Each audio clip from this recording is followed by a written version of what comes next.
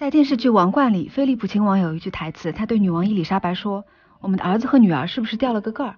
儿子像女儿，女儿像儿子。”菲利普说的儿子自然就是查尔斯王子，女儿则是我们今天的主角安妮公主。作为女王和菲利普四个孩子中唯一的女儿，英国民间也有一种说法，安妮公主才是菲利普亲王梦寐以求的儿子。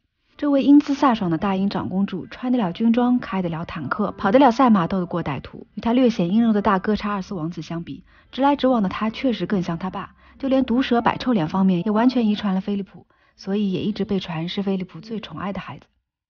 安妮公主一九五零年出生于伦敦的克劳伦斯宫，比查尔斯王子小十八个月，是女王夫妇的第二个孩子。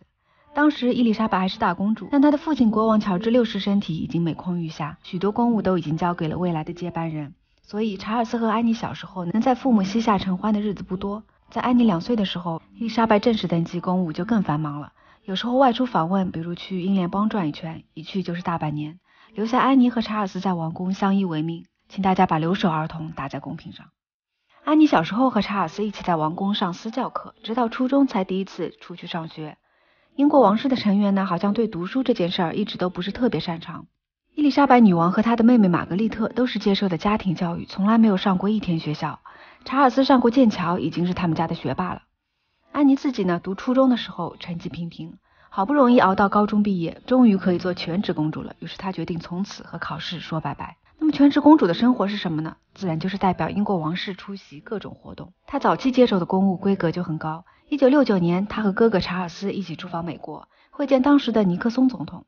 安妮当时十九岁，显然还完全没有适应这样的国事访问，全程厌世脸，不回答任何问题，不接受任何采访，让美国媒体热脸贴冷屁股。从此，安妮公主有了她的第一个外号——臭脸公主。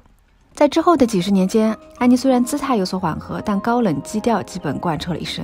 当然，安妮对媒体的抵抗和距离感，除了她天生性格使然之外，跟英国媒体对王室生活无孔不入的刺探也有很大关系。比如，公主最大的爱好是马术，经常参加各种比赛，所以只要有她的赛事，媒体一定蜂拥而至，一路跟拍。如果恰巧碰到安妮从马背上摔倒，那第二天必定上头条。久而久之，似乎公主不摔她一次，媒体都有点失望而归。安妮对此相当恼火，有一次直接对拍她的摄影师说 “neff off”，差不多就等同于美国人常说的 “off”。这句话也成了公主在媒体界留下的一个梗。当然，比马术比赛更吸引媒体的，还有公主的各路男朋友们。从安妮十八岁起交往过的男生就没能逃过媒体的眼睛。从查尔斯的好友，后来成为哈里王子教父的杰拉德，到长发飘飘、有嬉皮士风格的马球手桑迪，再到英国奥运马术冠军、比他年长十二岁的贵族理查德，每个人的背景资料都被媒体扒了个底朝天。而安妮交往过名气最大的男朋友叫安德鲁·鲍尔斯。安德鲁家跟王室颇有渊源，自己常年混迹于名媛圈，非常有女人缘，女友也不止安妮一个。但是安妮似乎非常喜欢他，还是执意和他在一起。如果作为驸马候选人的话，安德鲁本人还有个很大的问题，他是天主教徒而不是新教徒。英国王室由于历史原因是不接受和天主教徒的通婚的。当时安德鲁觉得和公主谈婚论嫁阻力太大，不想继续了。正好当时和查尔斯热络的卡米拉。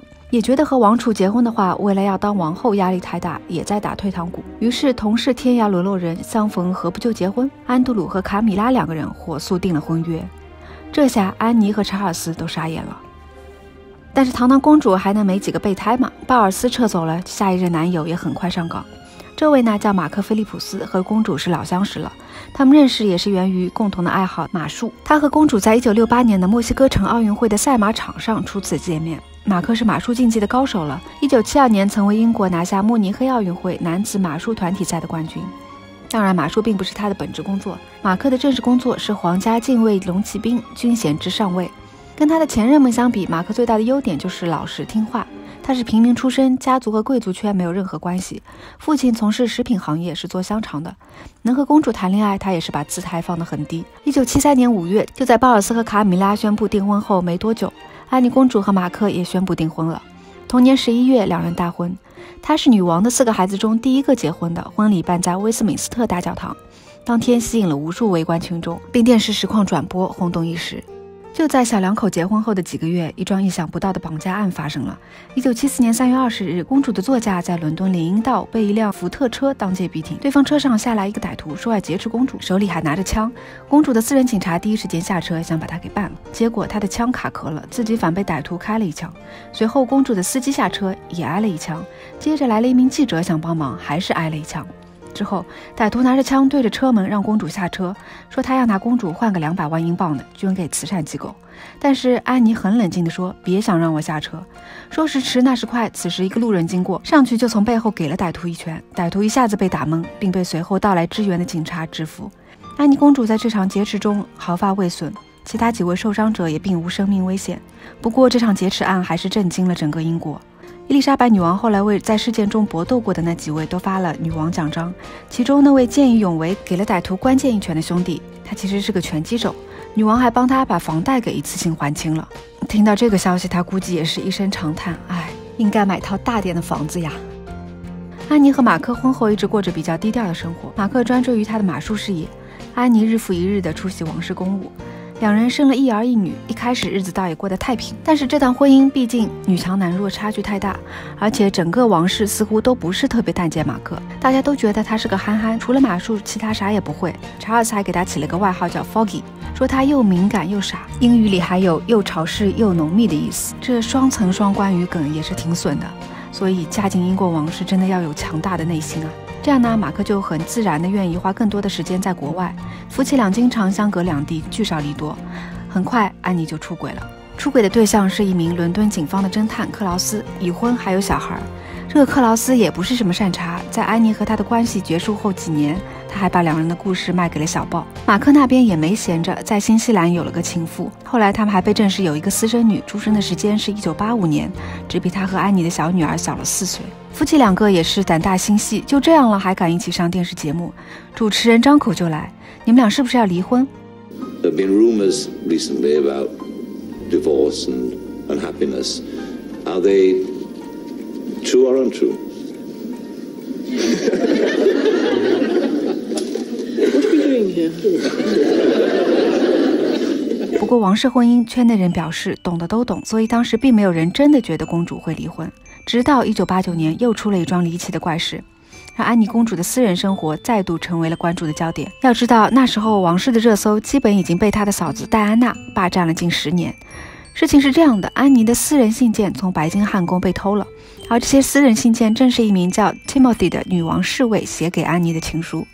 这些露骨的情书被卖给了英国《太阳报》。《太阳报》虽然守住了媒体人底线，没有把信件的内容公之于众，但是这个婚外情还算是坐实了。所有人都知道公主出轨王室四位，Tim 也从寂寂无名成为了媒体竞相采访的香饽饽。这次事件后，安妮反而放弃了遮掩，公开和 Tim 出双入对。同年，她宣布和马克分居。一九九二年，两人正式离婚后的八个月，安妮再次走入礼堂和 Tim 喜结连理。那年，公主四十二岁，驸马三十七岁。婚后，Tim 接过了皇家赘婿的接力棒，跟在公主身后过着亦步亦趋的日子。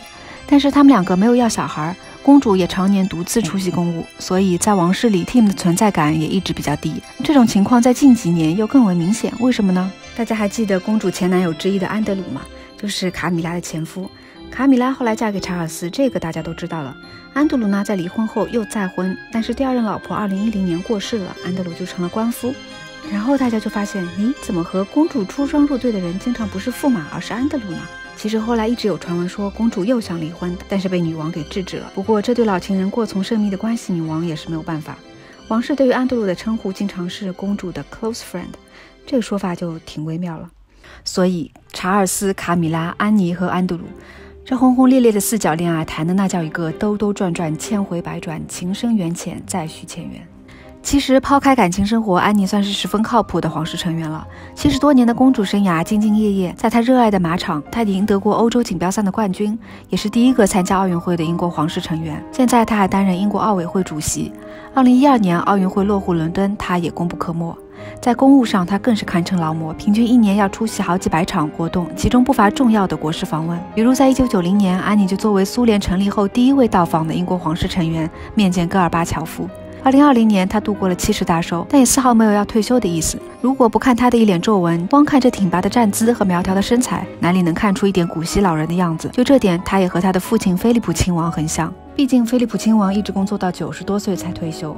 安妮的两个孩子是女王孙辈中唯二两个出生的时候就没有任何皇家称号的王室成员，因为安妮希望他们能有更自由的生活，不要被皇家的身份束缚。这意味着他们可以不用为王室出席公务，但也意味着他们得自己挣钱养家。比如他的大儿子就曾经到中国来拍牛奶广告赚钱。我是 Peter Phillips，英伦珍品，奢享鲜醇。This is what I drink. 看了让人不知该说是高大上还是接地气。好了，今天的王室故事就讲到这里，希望可以给我一个三连支持一下哦。